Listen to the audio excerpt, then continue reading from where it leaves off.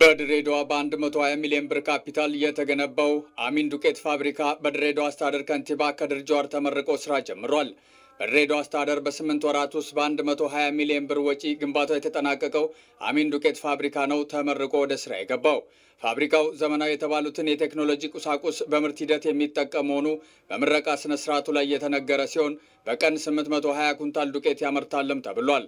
በምረቃ ስነ ስርዓቱ ላይ ተገኝተው ፋብሪካውን ስራ ያስጀመሩት የድሬዳዋ አስተዳደር ከንቲባ ከድር ጁሃር ፋብሪካው ተገንብቶ ወደ ስራ መግባቱ ለአስተዳደሩ የኢንዱስትሪ ማዕከልነት ማሳያ መሆኑን ጠቅሰው የስራ ዕድልን ከመፍጠር አንጻርም ሚናው የላቀ መሆኑን ገልጿል።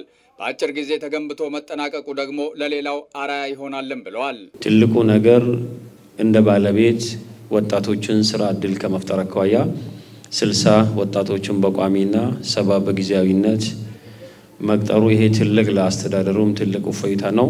ሌሎቹም ፋብሪካዎቹም በዚህ መልኩም የእናንተ ማሪያ ሆኖ መሬት የወሰዱና መስራት የሚገባቸው በዚህ መልኩ እንዲቀጥሉ ማሳሰብ እፈልጋለሁ። ከዛ ውጭ እንግዲህ ከፋብሪካው መገንባት ብቻ ሳይሆን ስራ ማስጀመሩም ትልቅ ነው። እንግዲህ ይሄም እኛም በጣም ደስ ብሎናል።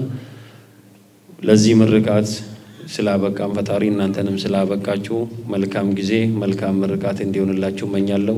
የፋብሪካው መስራችና ባለቤት አቶ ሰለሞን ቤተ ማርያም በበኩላቸው ሀገራችን የጀመረችውን የብልጽግና ጉዞ ፋብሪካው እንደሚያግዝ ጠቅሰው በዚህም ለወጣቶች በርካታ ስራ ዕድል የፈጠረ ነው ሲሉ ተናግረዋል። ድርጅታችን ሀገራችንን የጀመረችውን የልማት የብልጽግና ጉዞ ያግዝ ዘንድ ፋብሪካችን ለበርካታ የአስተዳደር ወጣቶች ከፍተኛ የስራ ዕድል የፈጠርን ስንሆን በአሁኑ ሰዓት ከስልሳ ሰራተኞች በቋሚነት እንዲሁም ሰባ ሰራተኞችን ደግሞ በጊዜያዊነት የቀጠርኩኝ ሲሆን በቀጣይ ፋብሪካችን በሙሉ አቅሙ ወደ ምርት ሲገባ ከሁለት መቶ ሰራተኛ ቋሚና ጊዜያዊ ሰራተኛ የሚኖረኝ ሲሆን ከዚህም በተጨማሪ መሀል ድሬዳዋ ማርያም ሰፈር አካባቢ የሆቴል አገልግሎት የሚሰጥ ባለ ሰባት ወለል ህንፃ በመገንባት ላይ እንገኛለን።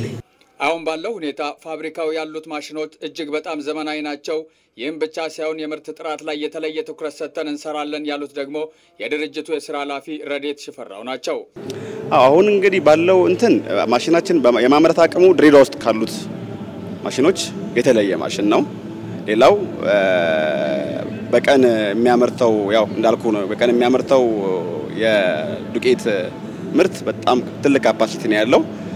ዋጋም ላይም ጥሩ ነገር ነው የምናደርገው ያለው ሁኔታ ምንም ለገበያው ደግሞ ከብዙ እንትን አንጻር የምናደርገው ትልቅ focus አድርገን የምንሰራው ትልቁ ነገር quality ላይ ነው። quality ላይ ንጹህ ነገር verify የሆነ ነገር ለህዝቡ ማቅረብ ነው። እሱ ነገር ላይ ተጠንቅቀን የምንሰራ ነው የሚሆነው።